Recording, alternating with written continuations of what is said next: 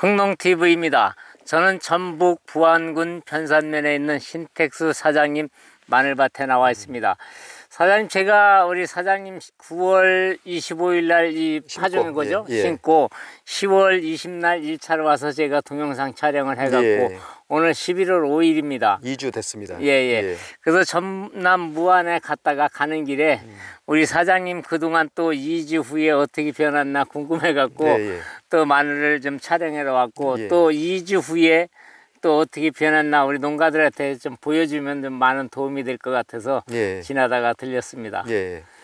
요새 마늘 파종하고 10월 달엔 별로 비가 안 와갖고 예. 전반적으로 가뭄을 많이 타고 있는데 예. 지금 작황이 어떤가요? 음, 너무나 가물어 가지고 예. 중간에 스프링클러로 두 번 물을 주었습니다. 예, 예. 그리고 엊그저께 한 4mm, 5mm 정도 물이 와- 비가 왔는데 예, 예.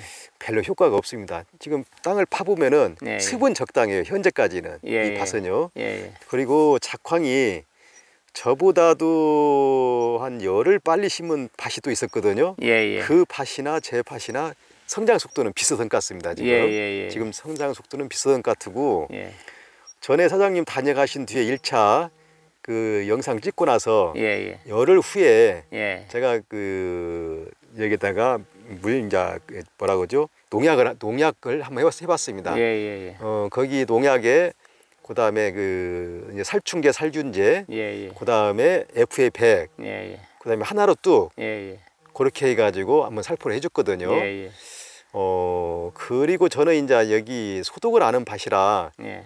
그 20일 후에 예. 예, 이게 야 성장한 뒤에 예. 엑스칼리버하고 세토양을 예. 관주를 한번 해줬거든요. 관주 한번 예 그리고 이번에 이거 물약을 할때 예. 세토양도 같이 섞었습니다. 아, 예, 섞어서 한번 서- 해주고 제가 이번 주 내일 모레 예, 예. 토요일 날 다시 한번 이제 2차로 예. 열흘 단위로 제가 그 위에다가 연면 살포를 해줄 그런 계획이거든요. 예, 예. 그러다 보니까 지금까지는 모르는데 앞으로 한번 3회 정도 해보면은 음. 인근에 있는 마늘 바둑고 비교를 해보면은 네. 상당히 편차가 있을 것 같습니다. 네. 성장 성장 자체가. 그래서 지금 이제 우리 사장님은 이제 흥농 사종 세트를 이용해서 기빌로 땅 살리기 몇 평에 하나씩 넣으신 거예요? 오 40평에 한 포였어요. 40평에 하나 넣고 종자는 엑스칼리버 처리하고 침종했고요. 침종하고 이제 위에 나와서 이제 20일 만에 엽면 살포 한 번 해주신 거 아닙니까? 관주를 했죠. 관주. 예, 관주를 다시 한 번 했죠. 그래서 이제 마늘을 이제 월동 전에 이제 뿌리 확보를 잘 해야 예, 냉해 동해로부터 보호를 받고 예, 또 이제 뿌리 확보가 잘 돼야 내년에 수확량이 이미 여기서 결정난다고 생각을 그렇죠. 하고 있거든요. 그런다고 보죠. 그래서 지금 마늘이 이제 9월 달부터 이제 파종을 해서 지금까지 이제 뭐 한정은 파종을 하고 있는데 이미 파종돼 있는 마늘들 예, 월동종 관리 예, 이쪽에 좀 말씀을 해주시면은 또 농가들한테 많은 도움이 될 것 같습니다. 예. 월동전에 이미 저는 아, 조금 전에 말씀드린 대로 예. 흥농 사중 세트를 사용했기 때문에 예. 뿌리 내림이라든지 이런 부분은 이제 안정이 됐고 예. 이제 이- 지금부터는 이제 땅병, 토양병 있죠. 예, 예. 토양병에다가 고자리파리, 예. 그 애벌레 치- 뭐 피해 예. 예. 이런 부분을 방제를 해주는 것이 예. 제일로 이제 그 겨울 되기 전에 예. 관리하는 거 아닌가 생각이 예. 됩니다. 어느 분들은 성장이 안 된다고 해가지고 웃거름을 또 하시는 분이 계세요. 예. 웃거름을 했다가는 아주 이제 낭패를 봅니다. 예. 요게 성장이 되다가 겨울에 강추위가 와버리면은 이게 이파리가 대체지거든요. 음. 그렇죠. 절대 웃거름은 제때 해줘야지 네. 성장이 안 된다고 해가지고 늦게 심었다고 해서 다시 웃거름을 하시면 안 되거든요. 네. 절대 그런 건 안, 안 하셔야 되고 저는 여기에다가 그 살균제, 살충제 입제를 다시 한번 뿌려줍니다. 네. 위에 비닐 위에다가 예, 예. 왜 그러냐면은 그 비닐을 치기 전에 살포를 했을 때는 어디에 있는지를 모르지 않습니까? 음. 예, 예. 그러면 위에다 살포를 해주면은 이 구멍 속으로 들어가서 바람에 음. 의해든 물에 의해든 비가 의해든 들어가서 이 뿌리 주변에 이게 살균제, 살충제가 들어가거든요. 음. 그렇죠. 그러면서 방제 효과가 있을, 있습니다. 예, 그래서 예. 저는 이제 추가로 한 번 더 해주거든요. 예, 이렇게 관리를 해주시면 될 것 같고 올해는 이렇게 가뭄이 심합니다. 또 여름에는 비가 뭐- 너무 많이 왔고 예. 가뭄이 심하니까 한 20cm 정도, 10에서 20cm 정도로 파박으셔가지고 음. 습이 촉촉하지 않으면은 스프링클러 돌려주셔가지고 물을 이렇게 관수를 해주시는 것이 겨울철 관리하는 데 도움이 되지 않을까 생각이 됩니다. 네. 그리고 저는 이제 지금 11 단위로 아까 말씀드렸듯이 음. 흑농 사중 세트인 중에 FA 105고 음. 하나로 뚜고고 그다음에 어, 세토양 같은 것 이런 정도를 가지고 11 단위로 어, 농약줄 그 겨울에 들어가기 전까지는 할 겁니다. 예, 예. 예.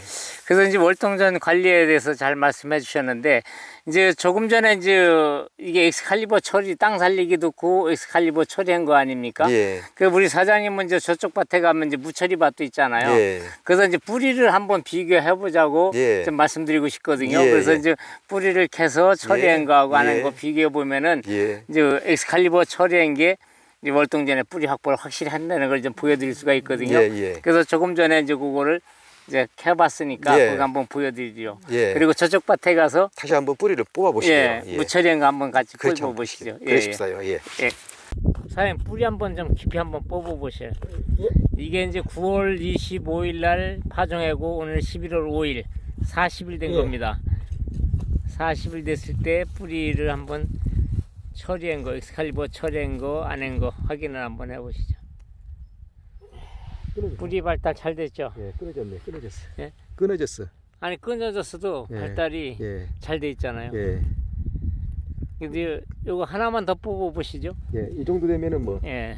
이 정도 되면은 문제가. 이게 이제 월동전에 이제 뿌리 확보가 예. 굉장히 중요하니까 예, 예. 그래서 저 확인을 한번 해보신 건데 그 옆에 거를 뽑던 것 같은 거 하나 예, 그렇죠. 예 그거 한번 뽑아보시죠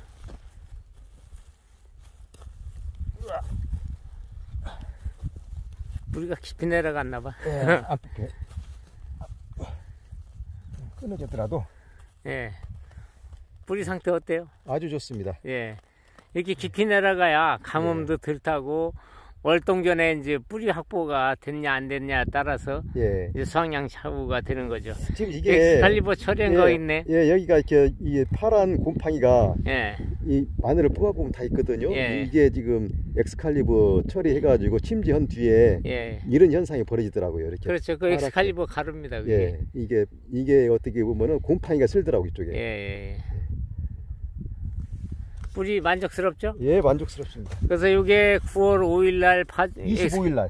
9월 25일 날 예. 엑스칼리버 처리해 갖고 9월 25일 날 파종해 갖고 예, 오늘이 11월 5일. 예. 딱 40일 만에 이제 뿌리 예, 예. 확인해 보는 겁니다. 여기는 이제 무처리 바다 예? 예. 근데 이제 저쪽하고 봐서 엽수 차이도 많이 나네요.